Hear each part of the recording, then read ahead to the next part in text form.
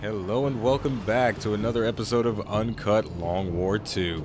Today we're going to get introduced to three new soldiers whose stories feel somewhat intertwined. They were provided by 49 Moser, Askamuski, and Master James. Daniel Morris is a veteran member of the British Special Air Services and a respected officer. Morris, or Moser as he's known among his peers, had undertaken over 100 missions in his service.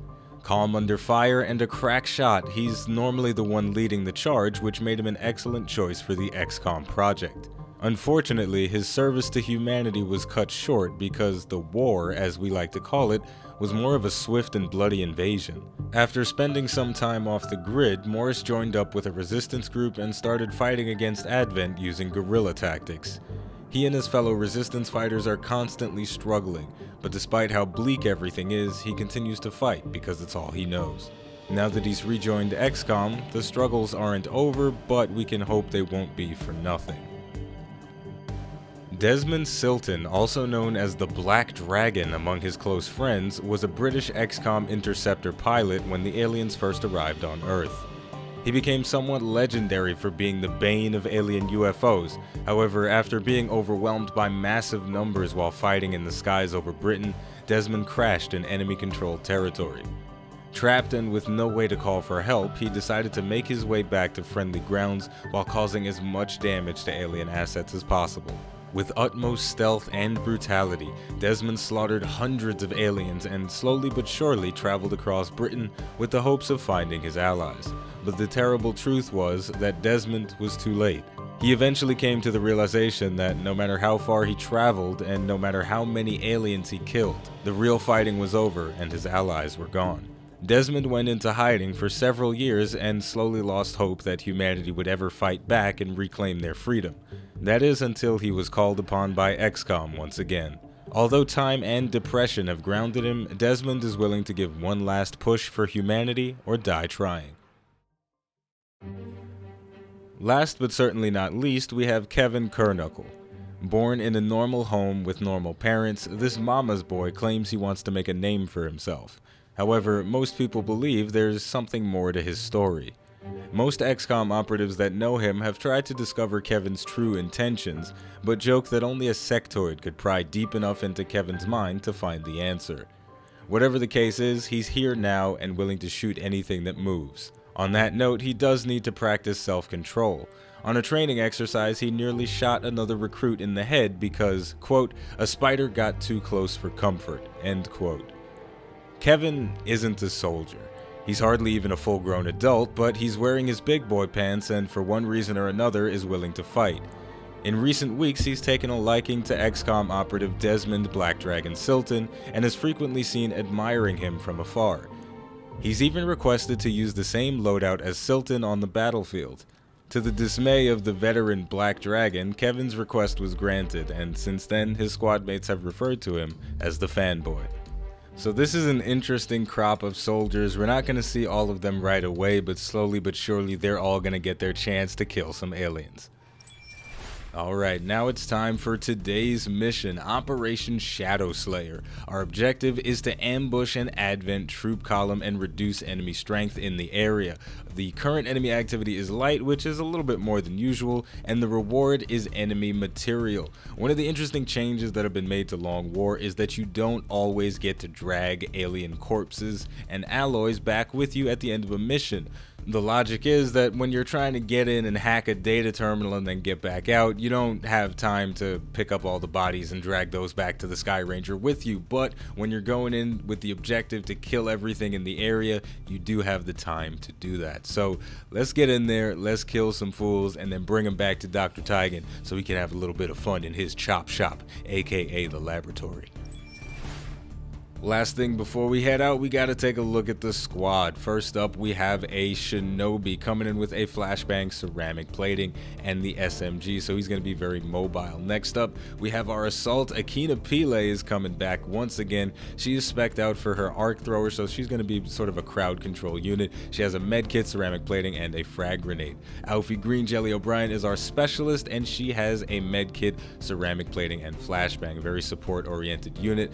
Desmond the Black Dragon coming in hot on this mission. He's got the frag grenade. flashbang ceramic plating, and the same goes for our other gunner, Donnie Lau. And then finally, Mark Curry Barden is coming in hot with the smoke grenade ceramic plating and the pistol once again. And he is specced out for that holo targeter, so when he doesn't have a good shot, he can mark up some targets for the rest of us, and then we can try and get some vantage points on the enemies. Now let's get out there and ambush this troop column. All right. All right, we are doing a lot of missions in the sunset, you know. But anyway, we are ambushing a group of Advent soldiers today. It's a it's a pretty standard kill all the enemies mission, but the cool thing about this is that our success or failure in this mission will have some effects on our strategy layer and our subsequent missions, right? So the, the the overall mission itself isn't very interesting, but it has interesting effects on the rest of the campaign, which I find uh, to be to be uh, a cool aspect, right? I mean, because in the base game, if you can do a mission and get an engineer, and that obviously makes things easier to excavate. You know, proving grounds projects will be a little faster, stuff like that. But with these, if we succeed in destroying this Advent troop column, then we will reduce the strength of Advent in the area. And just by the way, Azkamoski, is it Azkamoski? I got the paper. Azkamoski, yeah. Desmond Black Dragon Silton is on the field and he's ready to mow down some aliens. He's got the big guns, he's got the experience, he's ready to put in work. But uh, yeah, the, the, the if we succeed at this mission, is going to reduce the strength of Advent in the area, which means subsequent missions. I believe this is what it means. Subsequent missions will have a smaller enemy presence. And what we're going to try and do is set up because we don't have a turn timer to worry about, kind of like that last uh, destroy the Advent Monument mission.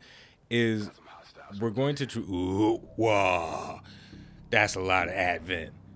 We can only see two of them from this position, but we know there's a lot of them over there. So what we're gonna try and do, don't even get to finish my thought before the shit gets crazy, uh, is we're gonna try and post Mark Barden on top of this little, this little outpost kind of thing, and he's gonna stay there pretty much for the remainder of the mission. And so is Alfie O'Brien actually, because she has the ability to hunker down to, to confer an aim bonus, and she also will get that height bonus as well. So she's going to be a great unit to keep in an advantageous position.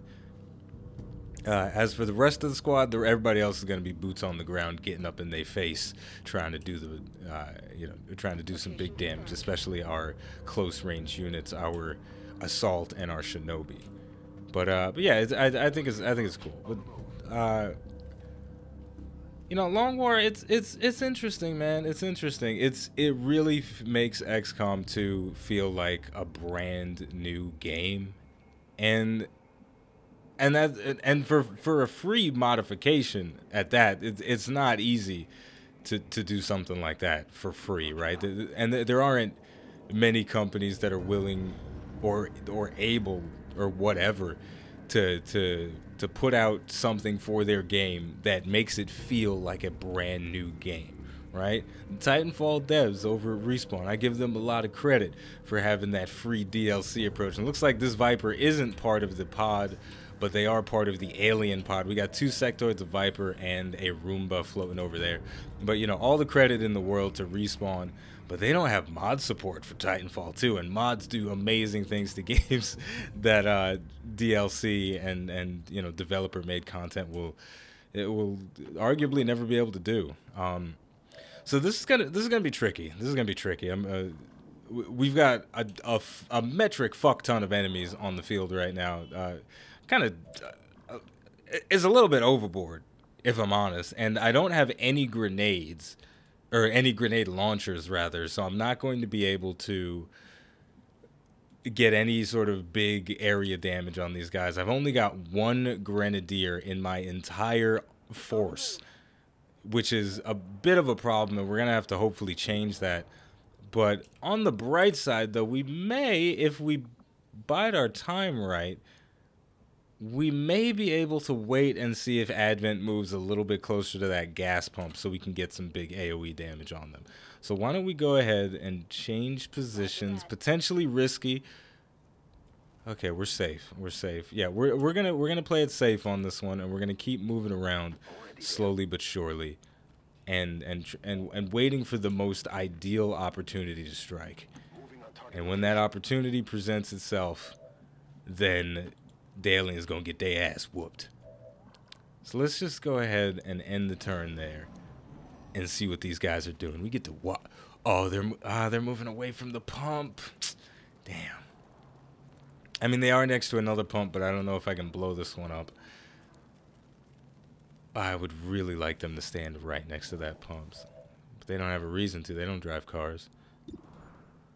Wait, oh, I can blow them both up. Okay, okay, okay. This this is brilliant. This is brilliant. All right, folks. It's about to get crazy. It's about to get crazy. Um, gas pri- gas price is about to go sky high in whatever part of the world we're in. I forgot to check, but you know. How much is gas right now? 199. There are there are some people uh, in the world that drive that would like the aliens to take over the earth so gas prices could go down that low. Um, but but seriously, let's uh, let's get this ambush started. Let's get everybody in the proper position. Once again, I forgot to hunker down Alfie O'Brien, so we're not going to be able to make use of her uh, her aim bonus just yet. But we will in the future. So let's just go ahead and overwatch others and then kick this off. Ooh, baby. We about to cheat the system. I hope this has a big radius. I really do, because if it doesn't, this is going to be a not amazing explosion. Well, there's only one way to find out. Let's see what happens. Boosh. All right, all right, all right. Not bad. Not bad. I'll take it. I'll take it. Could have been worse. We set the car on fire as well. I think Alfie is going to wind up getting flanked if we don't take out that captain. We are going to take out the captain, so there we go. We're not going to get the flank. The Roomba is probably going to do a little bit of flanking, but I'm not. I, I've stopped worrying about the Advent surveillance drone. They're really the bane of the early game's existence, but the, the, further you move on, it starts to get a little bit more bearable. The Advent Rocketeer is also going to prove to be a problem. This thing is going for the stun. Watch me regret my... Oh, it's not going to do the stun, but I am disoriented, so that sucks either way. Oh gosh, we're getting a little bit of flank action going on here. Oof, this could get hairy. This could get hairy. And they are just hanging out by this gas station, man. This, this is not a good idea for them. Ooh, yes, I am liking this.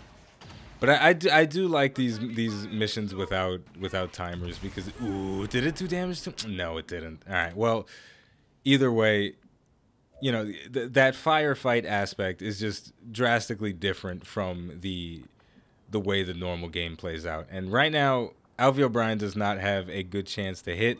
So what we're gonna do is we're just gonna go ahead and give aid protocol to our assault, and then we're gonna hunker her down and then she'll get a nice aim bonus on the next turn. Now, as for the rest of the squad, we've got some gas prices to jack up. Ooh, baby.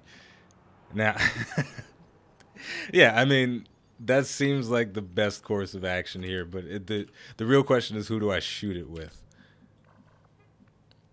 Who do I shoot the gas pump with? I think we might use our boy Chen Lao to shoot the... He can't even see it for some reason. So Chen Lao is still going to be invisible. We're just going to hunker him down for, for safety. Just to... Just in case. You know what, man? Uh... Let's use one of our new guys, Donnie Lao. So these are just two of my soldiers that I decided to make up. You know, I got to have a little bit of fun with the customization as well. We're going to take out this guy uh, with the gas pump. Boom.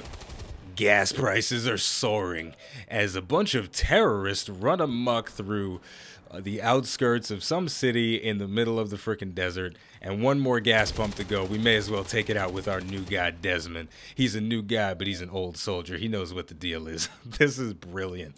This is this is truly brilliant. And and I am terribly glad at the way things are, are going right now. Fix your game Firaxis. That camera angle could have been better but I, I have I have I, I've I haven't had a mission go this well for a while, and our, our final move is going to be with uh with our boy Mark Barden. He does have a decent chance to hit. I may as well take the roll of the dice. 50% is pretty solid. Well, 49. It's basically yeah, that's what I'm talking about. I don't need to I don't need to explain myself to you guys. This is brilliant. This is freaking brilliant. I'm feeling myself right now. I'm feeling myself. They don't even know what to do. I mean, they can't really do anything, if I'm perfectly honest. And unfortunately, Alfie O'Brien is not really going to need to make use of her hunker down uh, aim bonus. She's actually going to have to move if she wants to get any targets at this point. And there we go. We are going to trigger the next pod, though. It might have been better if I overwatched everybody. I could have gotten some nice shots that way. But, you know, it is what it is. We all make mistakes. And uh, unfortunately, double unfortunately, we are going to reveal Chen Lao in the process. But, but, but, but, but, and this is a very nice but, we could potentially go for a kill on this guy. It's it's it's a risky play, but let's see what what our other options are. We don't have any more gas prices to jack up, which is the real shame here, but we do have the ability just to kind of just to kind of run amok. We, we, we, we've got we're starting to get a lot more tools at our disposal, and I think we're, we're going to really start making use of them the area suppression ability is freaking amazing. It reduces the chance to hit on all the targets caught in the suppression by 30, which is insane. So couple that with a full cover benefit or even a half cover benefit, and you get a tremendous effect from that. And I've actually buffed up my stun gun on my uh, arc thrower on Akina Pile. Electro shock, your arc thrower disorients the target when it misses. So even if we've got a 26% chance to hit this guy, boom, we send it in. We are going to connect, but if it didn't connect, he would have been disoriented and the Overwatch would have been taken care of. But now that the Overwatch has been taken care of regardless, our boy Chen Lao can go in and chop this fool in half. Bet money there's another pod in there, though. Oh, I'm regretting my decision already. Am I going to regret this? Am I going to hate myself? No. No, I'm not. This is good. All right. But yeah, you know, um, what the hell was I saying? uh, something, something, something, mod support, something, something, something, gas prices, something, something, something. I'm flanked. Nice. All right, so the sectoids are throwing out that zombie res now. We got some interesting stuff going on here. But you know, I I can't and and Central has said there's no respite for the dead every single time a zombie has been created, which is kind of annoying. But uh I I feel like I feel like we're getting over the hump of the difficulty curve of Long War. I, I feel like we're starting to get to a point where we can comfortably get through missions without feeling like the odds are completely stacked against us. Now, unfortunately, our area suppression did not yield anything, and we do have uh, our medic panicking. Alfie O'Brien is panicking. But the the bright side to this is that uh, we can always reload and do it again. But that's not what we're gonna do. That that'd be a little bit ridiculous. What we are gonna do is, is start taking some shots at some aliens, start cutting fools in that. But I think, I think we're finally uh, starting to get over the hump, the difficulty hump of of Long War because I feel at this point that you know the missions are still difficult. And granted w- with this particular mission if there weren't any gas pumps it would have been significantly more difficult.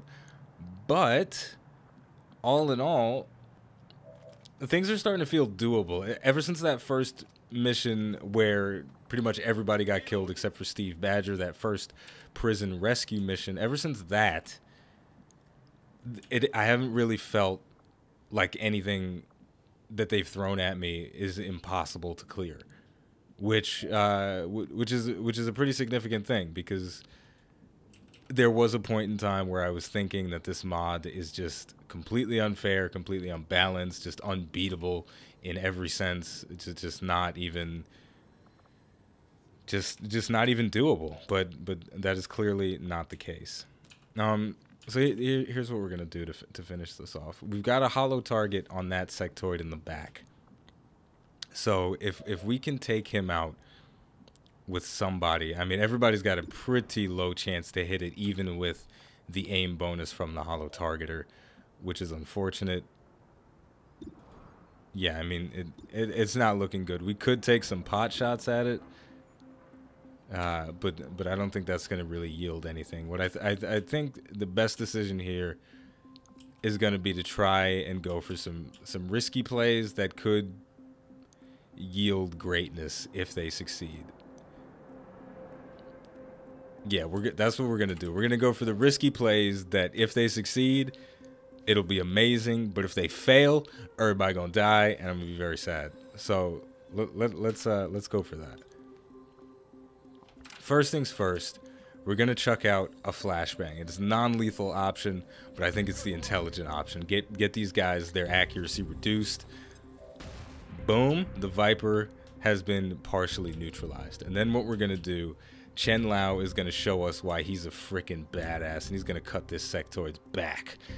Slice it off. Kind of wasting the holo targeting right there, but it is what it is. Sometimes we make bad decisions. So he's been sliced up. That sectoid is down. And we're going to get some loot out of it. Elerium core, a lockbox, and an alien data cache. That's very valuable for the intel. And, oh, the panic was removed as well. So this might prove to be a better idea than I was initially thinking it was going to be. Uh, but so the the issue is the real danger in this is the Viper could go for the grab on Chen Lao, or it could uh, you know, slither around and flank him, take a nice shot on him, and same goes for the sectoid. But I think we can deal with it. I think we can deal with both of those situations. If we, with, with a little bit of luck, we'll be able to deal with those situations. And you know what? Damn it, I'm feeling lucky today. 34% may as well be 100. It may as well be 34%. We missed. Um, But uh, I suppose the last thing we can do is get Akina Pile up into the action. We're going to sprint her. Move. Can she even see the sectoid from anywhere? I feel like she should be able to see that sectoid from that position. So we're going to move up there just to test it out. Yeah, she can. Not see the sectoid from that position. So that was a bit of a dead move.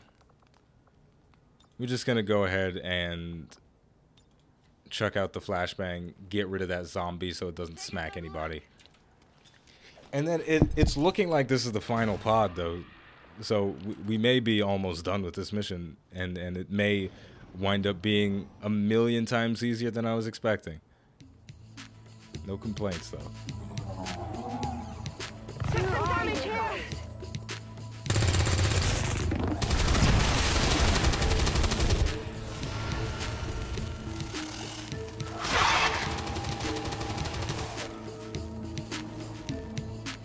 As luck would have it, there is going to be one more pod, but we are going to deal with it excellently. So we're going to wrap it up here. As always, the name of the game is XCOM 2. The name of the channel is iBluair, JGR Gaming for Comedy. Thank you for watching, and I'll see you next time. Hostile terminated. Status confirmed. Mission accomplished.